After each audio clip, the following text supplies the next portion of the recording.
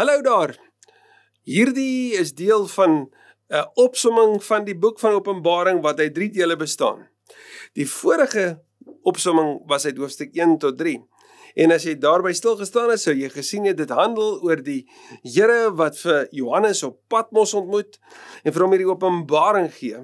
En dan hoofstuk 2 en 3 wat in die besondere fokus is op drie die sewe gemeentes in die twee hoofstukke en hoe hulle moet volhard ten tye van onderdrukking, ten tye van van ongemak en onsekerheid hoe die Here vir hulle kom sê maar ek roep julle terug na my toe. Twee van die sewe gemeentes hoor, hou net aan om te doen wat julle doen.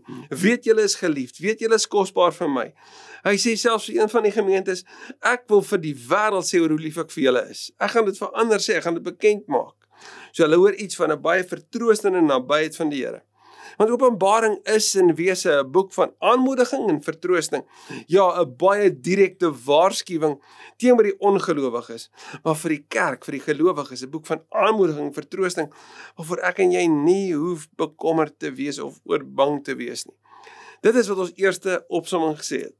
Vandag doen ons deel 2, hoofstuk 4 tot 11 en ons gaan sien in hierdie 8 hoofstukke wat die Here in die besonder vir die gelowiges van daai tyd maar van jou en my ook wil sê.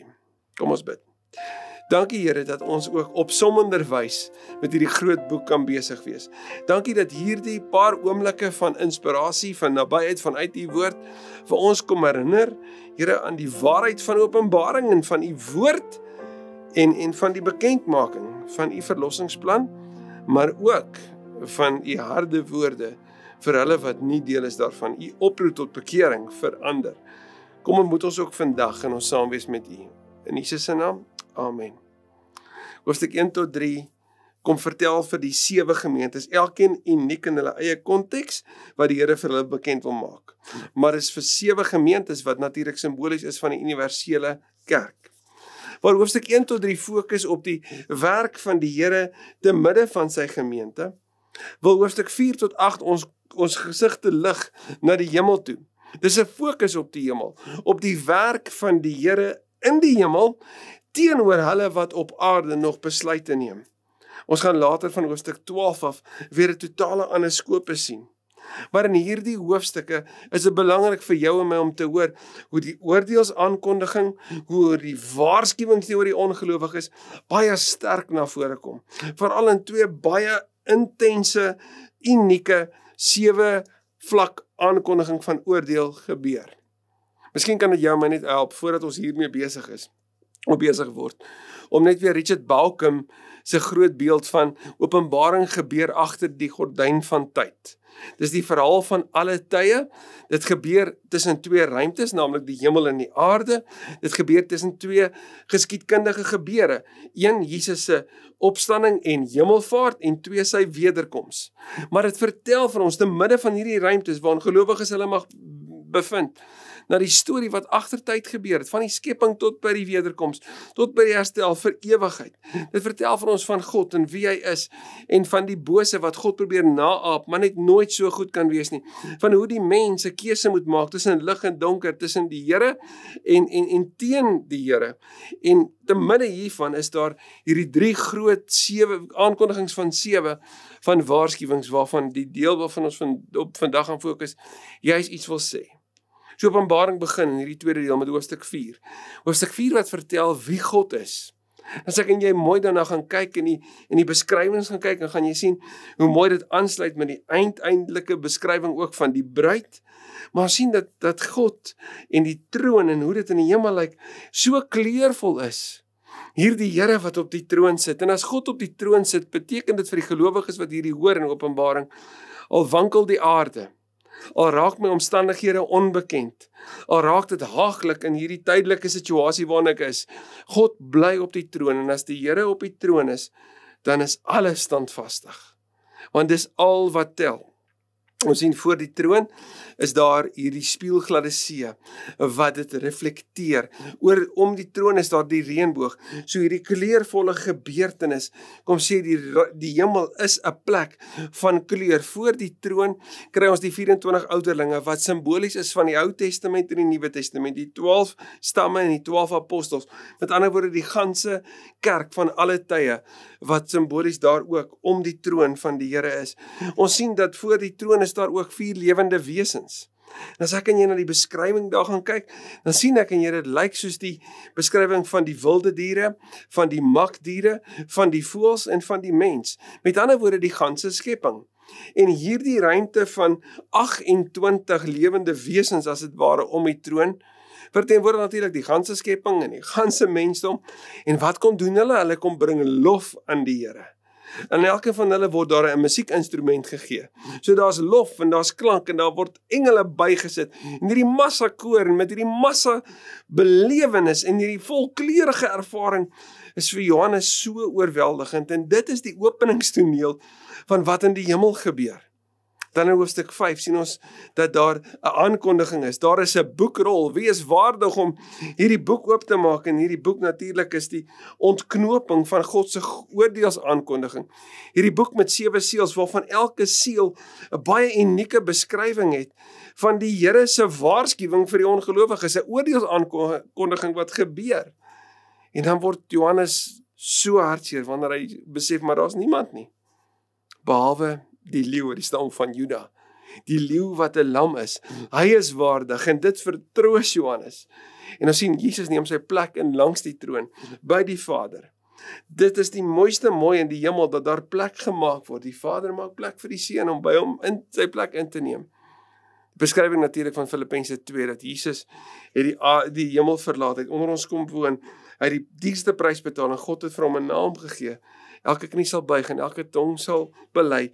Jesus het die reis voltooi. Hy's in die hemel en hy heers in 'n plek van heerskappy. Sê hoofstuk 5 vir ons saam met die Vader.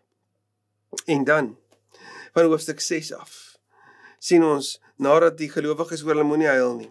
Weet Johannes hoor dit. Die gelowiges behoor ons of ons beleef die die glorierykheid en ons beleef daar's hierdie seels begin hoofstuk 6 natuurlik met met die aankondiging van God se straf. En die eerste 4 seels wat oopgemaak word word word uitgewys as vier perde. En die vier perde het elkeen 'n bepaalde kleur en elkeen van daai kleure het 'n bepaalde boodskap. Dit kom vertel van die propaganda van daai tyd, die valse voorstelling van wat gebeur het. Dit kom vertel dat hoe hierdie propaganda daartoe gelei het dat daar oorlog was.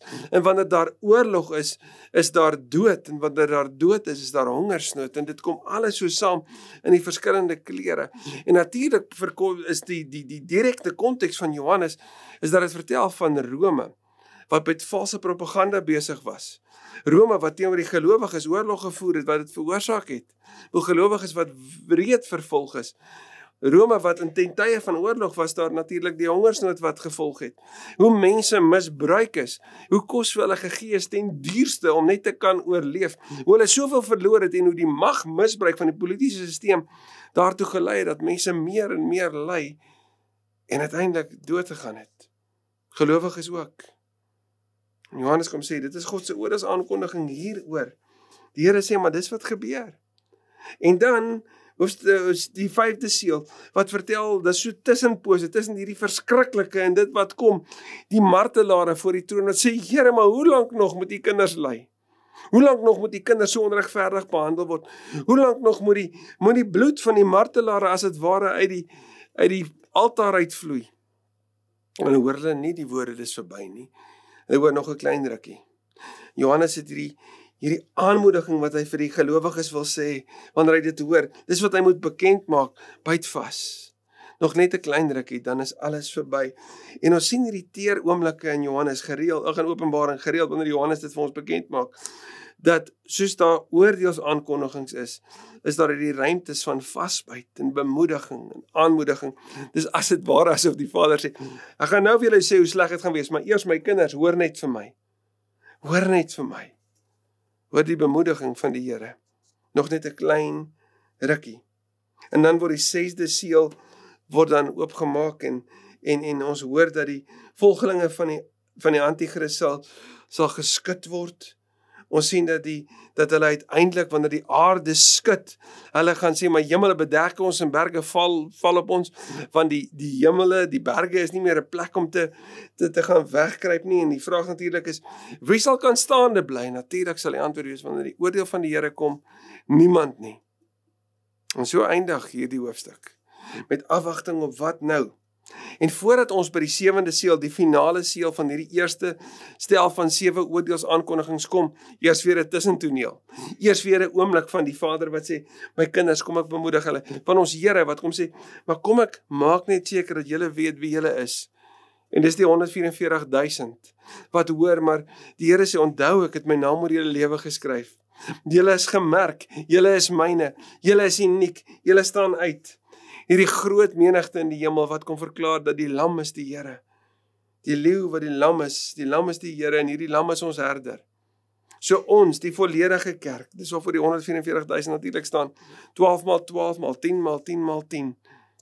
Ons moet hoor, die gelowiges moet hoor. Byt vas. Onthou wie jy is. En daar's twee keer wat daar op hierdie 144000 gefokus word. Die een op ontdekking van wie hulle is en twee waarmee hulle moet besig hou en dit kom. En so beweeg ons na die sewende seël toe wat in hoofstuk 8 oopgemaak word. En wanneer hierdie hierdie seël oopgebreek word, dan word God se volledige plan van oordeel bekend gemaak. Daar's wierook wat uit die bak uitkom.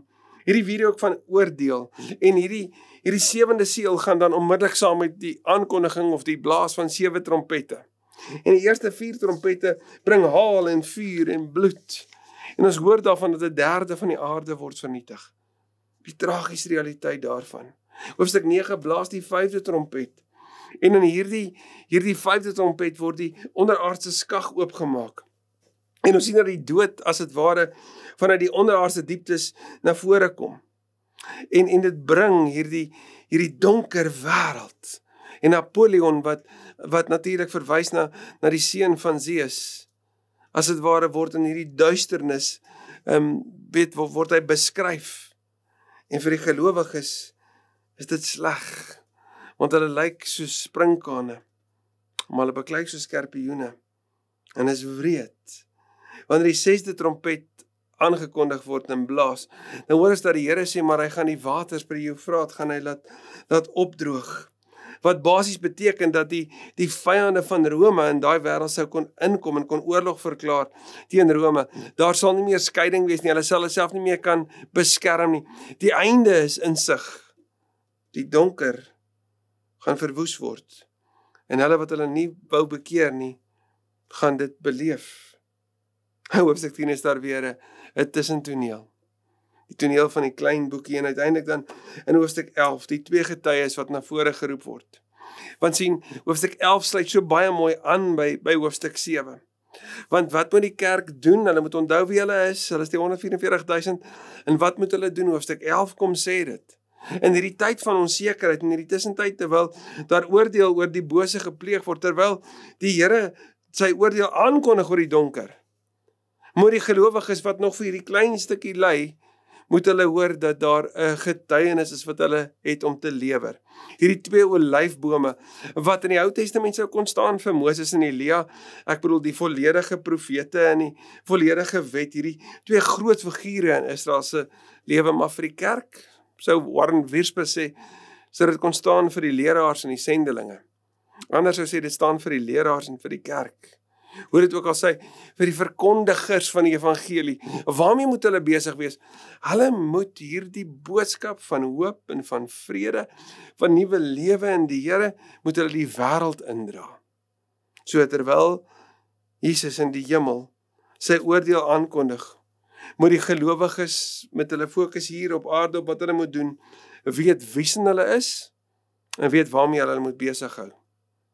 Wanneer ons volgende keer by die derde deel van die opsomming kyk na hoofstuk 12 tot 22, dan is die fokus op die hemel en op die toekoms. Oor wat gaan gebeur? Dan sien ons die groter aankondiging oor Jesus, nie net oor sy oordeel oor die oor die bose en oor oor die mense wat so verskriklik verkeerd doen nie, maar oor die ganse boosheid en oor die draak en oor sy twee getuies en oor wat daarmee gaan gebeur. En uiteindelik met die grootste triomf van die bruilof wat wag. Maar meer daaroor volgende keer. Dankie Here dat ons kan hoor dat U nie blind staan vir die boosheid en vir die onreg hier om ons nie. Dat Openbaring ook in hierdie kort 8 hoofstukke so opsomming vir ons kom vertel dat terwyl U oordeel aankondig oor die donker, kom bemoedig U die lig. Kom bemoedig U U kinders. Kom herinner ons U en U ons aan wie ons is en waarmee ons moet besig wees.